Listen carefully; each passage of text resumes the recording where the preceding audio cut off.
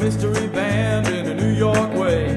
Rock and roll, but not like the rest. And to me, America at its best. How in the world were they making that sound? Velvet Underground, a spooky tone on a Fender bass. Played less notes and left more space. Stayed kinda still, looked kinda shy, kinda far away, kinda dignified. How in the world were they making that sound? Velvet Underground, well you could look at that band and wonder where all that sound was coming from. With just four people there, twangy sounds of the cheapest types, sounds as stark as black and white stripes, bold and brash, sharp and rude, like the heat's turned off and you're low on food. How in the world are they making that sound? Velvet this. And Sally inside.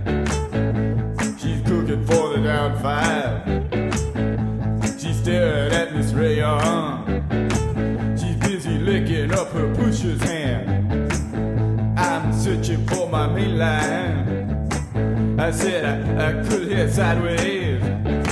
I said I, I could, could, could hear sideways.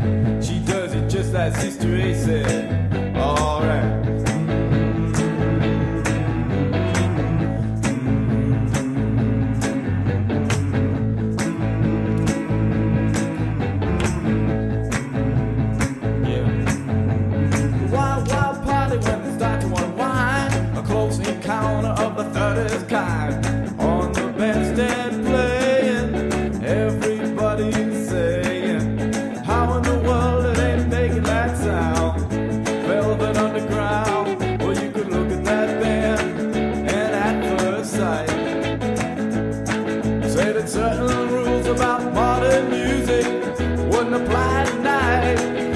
Twangy sounds of the cheapest kind, like guitar sale twenty nine ninety nine. Bold and brash, stark and still, like the heat's turned off and you can't pay the bill. How in the world are they making that sound? Velvet Underground. Both guitars got the fuzz tone on, drummer standing upright, pounding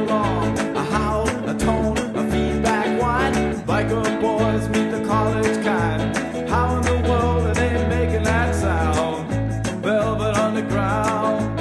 A wild, wild party when they start to unwind. Close encounter of the third is kind. On the bandstand grooving, everybody moving. How in the world are they making that sound?